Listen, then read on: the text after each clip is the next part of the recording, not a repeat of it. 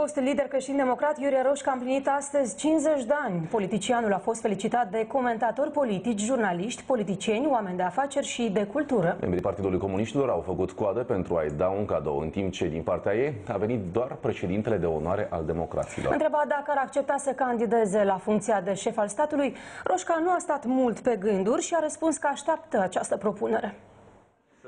Printre primii care au venit la sediul PPCD au fost deputații comuniști în frunte cu liderul lor Vladimir Voronin. Expreședintele statului a adus în dar lui Iurie Roșca un set de șah confecționat manual. Setul din anii 87-89,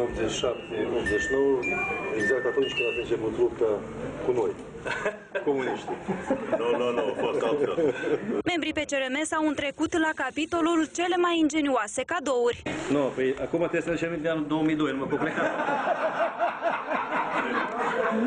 pleca. M-a plecat, m-a plecat pe fugă, înțelegi? Așa era. În timp ce sărbătoritul servea șampanie cu deputații comuniști și-a făcut apariția Dumitru Diacov. Legat domnul acesta care a intrat de două ori și cumpără partid. Principii și valori.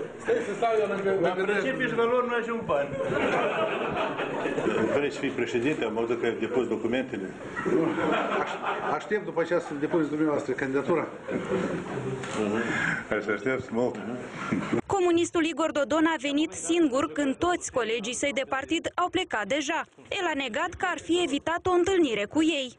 Cineva muncește în teritoriu, cineva muncește pe loc, important să muncim toți împreună. Iurie Roșca spune că este mulțumit de realizările sale și este dispus să meargă înainte. Acum Da. se caută un candidat de compromis la funcție de președinte. Sunt de acord cu propunerea dumneavoastră. Acceptați?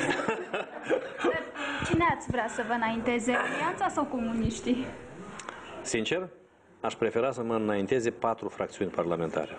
În anul 1994 a fost ales deputat de pe lista Partidului Popular Creștin-Democrat. Iurie Roșca a organizat numeroase proteste stradale față de acțiunile comuniștilor, pentru ca la 4 aprilie 2005 cei 11 deputați ai PPCD să voteze pentru alegerea lui Vladimir Voronin în funcția de președinte al Republicii Moldova. La următoarele alegeri parlamentare, PPCD nu a mai trecut pragul electoral. La începutul acestui an, Iurie Roșca a divorțat de soția sa. El are trei copii din această căsnicie.